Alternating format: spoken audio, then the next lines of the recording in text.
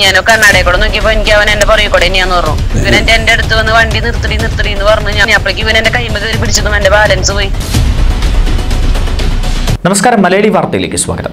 ഇന്ന് മലയാളി വാർത്തയിലേക്ക് ഒരു കോൾ ഞങ്ങളെ അമ്പരപ്പിച്ചു കൊണ്ടുവന്നു കേരളത്തിലെ ഒരു പ്രധാനപ്പെട്ട നഗരത്തിൽ രാത്രിയിൽ ഒരു പെൺകുട്ടിക്കുണ്ടായ ദുരനുഭവം പറയുകയായിരുന്നു ആ ഫോൺ കോൾ. തിരക്കുള്ള കൊച്ചി നഗരം. കേരളത്തിൽ രാത്രി നടത്തത്തിന് സ്ത്രീകളെ പ്രാപ്തരാക്കുന്ന സർക്കാരും ബന്ധപ്പെട്ട അധികാരികളും ഈ വാർത്ത കാണണം. അതുമായി ബന്ധപ്പെട്ട് നടപടികൾ സ്വീകരിക്കണമെന്ന് പറഞ്ഞുകൊണ്ടാണ് വാർത്തയിലേക്ക് കടക്കുന്നത്. നെടുമ്പാശ്ശേരി വിമാനത്താവളത്തിൽ നിന്ന് രാത്രി ജോലി കഴിഞ്ഞു പോകവേ യുവതിക്ക് നേരെ ആക്രമണം. രാത്രികാലങ്ങളിൽ സ്ത്രീകൾക്ക് ജോലി കഴിഞ്ഞ് തനിച്ച് യാത്ര ചെയ്യാനും കഴിയാത്ത അവസ്ഥയാണോ കേരളത്തിലുള്ളത് എന്ന ചോദ്യമാണ് ഈ സംഭവം അറിയുമ്പോൾ ചോദിക്കാനുള്ളത്. നിങ്ങളും അത് തന്നെ ചോദിക്കും. വിമാനത്താവളത്തിൽ നിന്ന് ഏകദേശം അഞ്ച് കിലോമീറ്റർ അകലെയുള്ള അത്താണിക്കടുത്തു വെച്ചാണ് സംഭവം. രാത്രി ഏറെ വൈകി ജോലി കഴിഞ്ഞ് ഇരുചക്ര വാഹനത്തിൽ വീട്ടിലേക്ക് തിരിച്ച യുവതിയെ പിന്തുടർന്ന് പെട്ടെന്ന് ഒരു യുവാവ് എത്തുകയായിരുന്നു.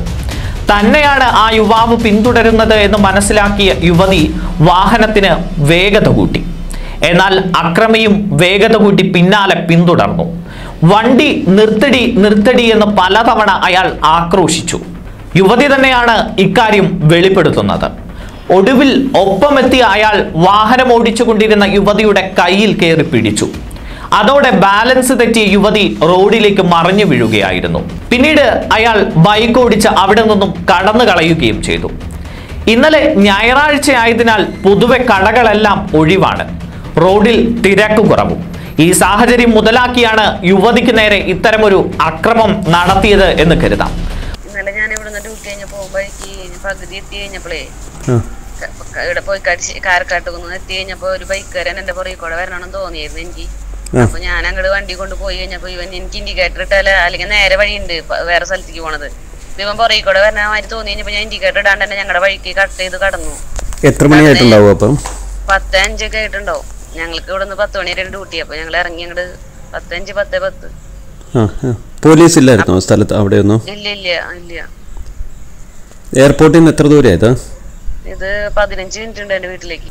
പത്ത് കിലോമീറ്റർ എന്നാണ് ഇവിടെ നിന്ന് എയർപോർട്ടിൽ നിന്ന് അത്താണിക്കലേക്ക് അഞ്ച്. ഞങ്ങളുടെ വീട് വരെ എട്ടാ. അപ്പൊ ഏഴ് ആറ് കിലോമീറ്റർ ഒക്കെ ഉണ്ടാവും. അത്താണി കഴിഞ്ഞിട്ടാണ് അല്ലേ? അപ്പൊ അവർ ഇവൻ എന്റെ പുറകെ കൂടെ ഇങ്ങനെ വന്ന് വന്നു കഴിഞ്ഞപ്പോ എനിക്ക് ഇവൻ വരുന്ന മടി തോന്നി. ഞാനോ കണ്ണാടയെ കൂടെ നോക്കിയപ്പോ എനിക്ക് അവൻ എന്റെ പുറകെ കൂടെ തന്നെയാന്ന് പറഞ്ഞു. അപ്പൊ ഞാൻ പെട്ടെന്ന് പോയി. അപ്പൊ ഞാൻ അങ്ങനെ പോയി കാരക്കാട്ട് വന്ന് എത്തി കഴിഞ്ഞപ്പോ അവൻ എന്റെ പുറകെ കൂടെ വന്നിട്ടപ്പോ ഞാൻ നല്ല സ്പീഡിൽ പോയി. ഭയങ്കര സ്പീഡിലാണ് ഞാൻ പോയി. വണ്ടി അപ്പൊ അവൻ എന്റെ പുറകെ എത്തി. ഇവൻ എൻഫീൽഡിന്റെ പുതിയ മോഡൽ ഒരു വണ്ടിയാ. ഒരു കോട്ടൊക്കെ കെട്ടിട്ട് ഹെൽമെറ്റ് വെച്ച് പുറകിൽ വണ്ടിയുടെ പുറകിൽ ഒരു കോട്ട എന്തോ കെട്ടി വെച്ചിട്ടുണ്ട്.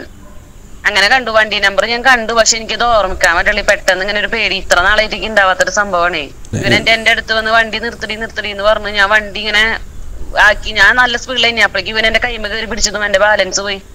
അപ്പോൾ ഒരു കുരിശുണ്ട് ബാബാവയുടെ അവിടെ എത്തിയതും ഞാൻ ഇങ്ങനെ മറയാൻ പോയി മറിഞ്ഞ് അവൻ എന്നെ ഇട്ടിട്ട് പോയി പിന്നെ. മനസ്സിലായി. പോലീസ് പരാതിപ്പെട്ടോ? ഇല്ല ഞാൻ അപ്പോഴേക്ക് ഞാൻ അടുത്ത ചേച്ചിമാരോട് പറഞ്ഞപ്പോ പോലീസ് സ്റ്റേഷനിലേക്ക് വിളിച്ചു പറഞ്ഞവര് അവിടെ- അവിടുത്തെ സി സി ടി വി ഇത് നോക്കി കണ്ടുപിടിക്കാൻ പറ്റും പോലീസിനെ? അവിടെ ക്യാമറയിൽ ഞങ്ങളുടെ അടുത്ത് കാരക്കാട്ടൂന്നിലുണ്ട് ജംഗ്ഷനിൽ.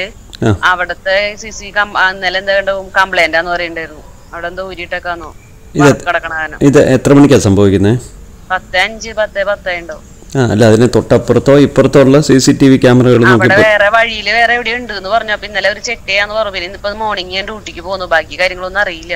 ഭാഗ്യത്തിന് ആ പെൺകുട്ടിക്ക് ഇത്ര മാത്രമേ സംഭവിച്ചുള്ളൂ. നമുക്കും അമ്മയും പെങ്ങന്മാരും ഉള്ളതാണ് ചില സാഹചര്യങ്ങളിൽ അവർക്കും രാത്രികളിൽ യാത്ര ചെയ്യേണ്ടി വന്നേക്കാം. അത്തരം അവസ്ഥകളിൽ അവരുടെ സുരക്ഷ വലിയ പ്രശ്നം തന്നെയാണ്. അത്താണിക്കടുത്ത് കാരക്കാട്ടുകുന്നിൽ സി സി ടി വി ക്യാമറകൾ പ്രവർത്തിക്കുന്നില്ല എന്ന ആക്ഷേപവും ഇവർ ഉന്നയിക്കുന്നുണ്ട്. നമ്മുടെ അമ്മമാർക്കും പെങ്ങന്മാർക്കുമൊക്കെ രാത്രിയും പകലുമൊക്കെ ആരെയും പേടിക്കാതെ ഈ വഴികളിലൂടെ നടക്കേണ്ടതാണ്. അധികാരികൾ ഇത് ശ്രദ്ധിക്കണം. ഇത് മാത്രമല്ല പറഞ്ഞു വെക്കാനുള്ളത്.